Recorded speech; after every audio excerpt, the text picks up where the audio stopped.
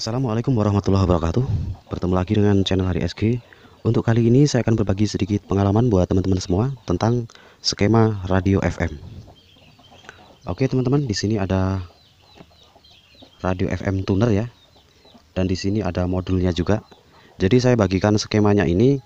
Tujuannya adalah untuk teman-teman yang mau merakit radio FM tuner Menggunakan PCB kosongan Atau PCB yang belum ada lubang-lubangnya seperti ini belum ada lubang komponennya maksud saya.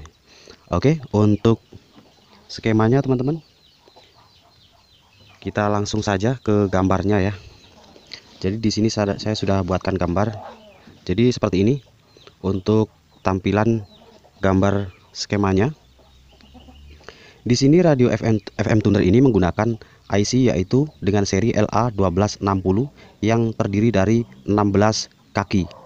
Oke selanjutnya untuk proses perakitan menggunakan PCB kosongan teman-teman. Jadi untuk pemasangannya seperti ini untuk kabel uh, maksud saya untuk kaki nomor 3 dan nomor 4 LA1260 ini kita jumper seperti ini ya. Kita jumper jadi di sini kita hubungkan dengan PCB yaitu arahnya ke negatif. Seperti ini. Ini ke negatif teman-teman ya. Saya kasih bundaran. Oke, ini negatif. Kemudian untuk kaki-kaki yang lainnya di sini dari 1 2 sampai ke 8 ya, kecuali 3 4 ini tidak digunakan. Yang digunakan hanya kaki nomor 3 dan 4 dari LA1260 sebagai negatif. Oke. Negatif. Oke, selanjutnya untuk kaki nomor 9 dapat di kapasitor tantalum ya. Di sini ada kakinya tiga dan untuk kaki tengahnya di sini adalah negatif juga seperti ini. Selanjutnya di kaki nomor 10 di sini ada kapasitor keramik dengan ukuran 1 mikro 1,5 mikro ya. Kita hubungkan seperti ini. Kemudian ini juga ke negatif dengan seri 153. Oke. Selanjutnya di kaki nomor 11 di sini ada kapasitor keramik juga kita hubungkan. Kemudian kaki satunya dapat di negatif juga dengan seri 153 juga. Oke. Selanjutnya ke kaki nomor 12. Kaki nomor 12 di sini kita hubungkan dengan negatif atau ground ya. Seperti ini. Dapat di ground dan juga dapat di kapasitor ya. Kapasitor yang ini. Jadi ini kapasitor yang negatif. Kita tarik ke sini. Oke. Ini adalah negatif. Kemudian positifnya ke arah resistor. Untuk kapasitornya ukurannya adalah 400 eh, maksud saya 47 mikrofarad.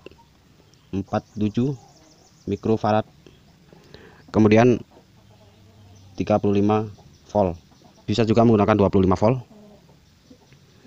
Oke untuk selanjutnya ukuran daripada resistor ini adalah 100 ohm.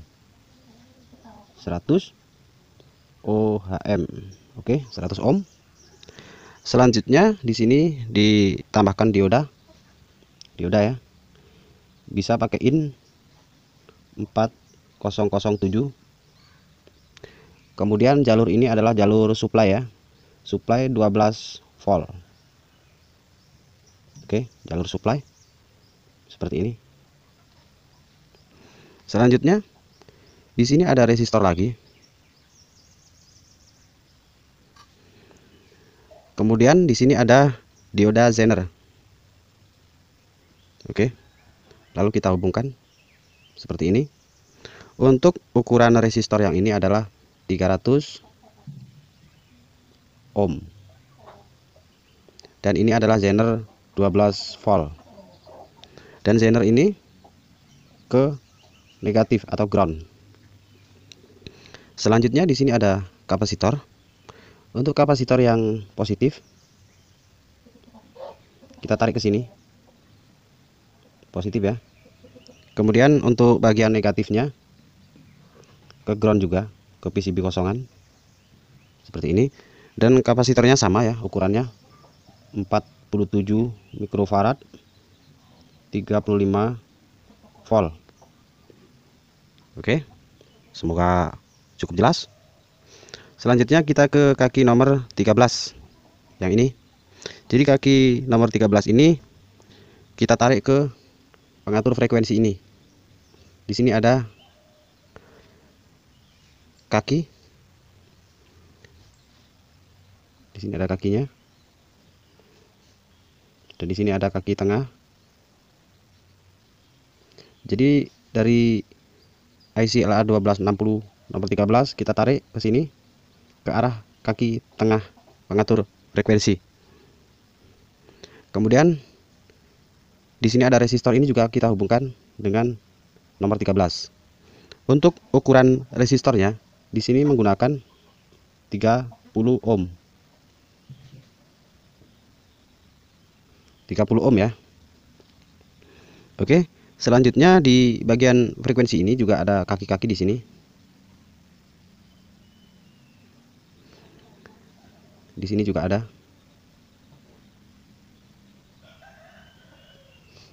Yang ada kaki tengahnya di sampingnya ini ke resistor. Dan untuk yang bagian kanan kiri ini adalah ke ground. Ini juga ke ground. Oke. Sama juga di sini juga ke ground ya. Seperti ini. Selanjutnya dari kaki yang ini kita tarik ke nomor 14 teman-teman ya. Kita sekarang ke arah 14 14 kita tarik ke sini dapat di kaki yang pojok ini yang arah resistor 30 ohm. Kemudian di sini ada dua buah kapasitor keramik seperti ini. Untuk kapasitor keramik yang ini arahnya juga ke ground untuk PCB kosongan ya. Dan ukuran kapasitor keramik yang ini adalah 473 473 oke selanjutnya di sini juga ada kapasitor keramik ya. Arahnya ke elko yang positif. Untuk kapasitor keramik yang ini ukurannya adalah 153 oke. Kemudian dari nomor 14 ini jalurnya juga kita tarik teman-teman ya. Kita tarik ke sini melompat ke arah resistor 100 ohm. Ini bagian positif ini negatif. Semoga cukup jelas ini. Untuk PCB kosongan sangat mudah ini rang rangkaian ini. Selanjutnya sekarang kita ke arah angka 15 ya. Pin 15 dari LA1260 kita tarik. Ke sini teman-teman. Ke arah lampu LED indikator yang bagian negatif kemudian positifnya dapat di resistor.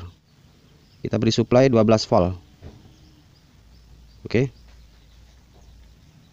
Kita beri supply 12 volt dan negatifnya dapat di 15 selanjutnya untuk dari kapasitor ini yang negatif ya. Yang negatif dapat di resistor seperti ini.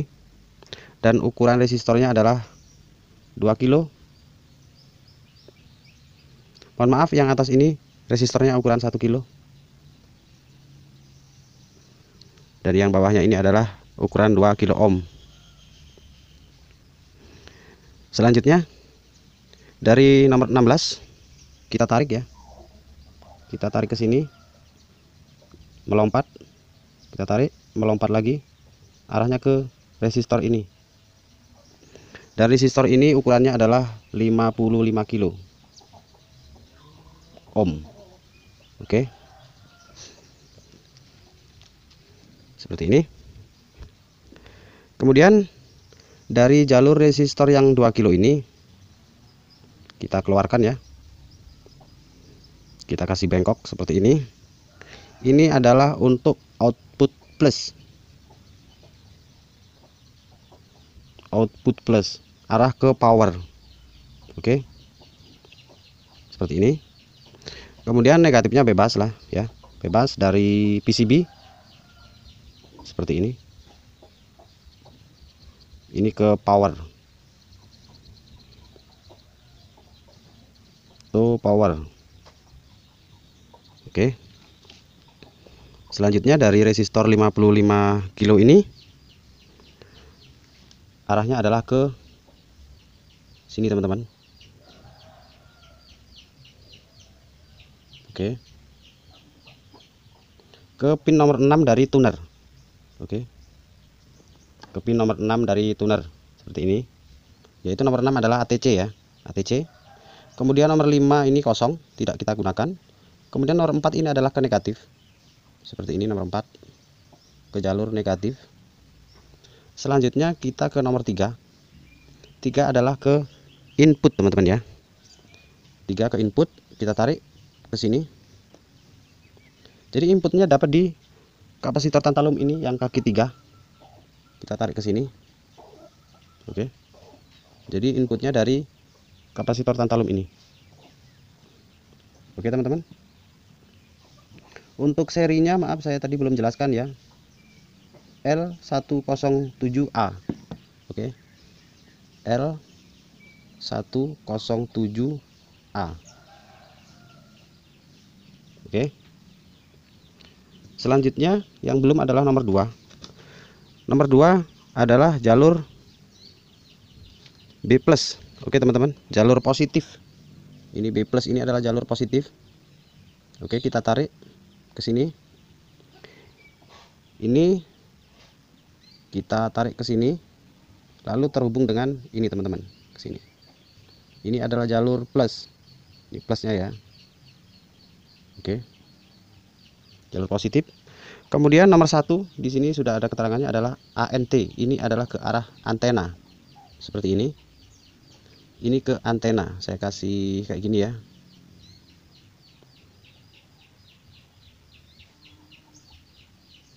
Oke. Ini adalah ke antena. ANT. Oke. Jadi seperti ini skemanya teman-teman.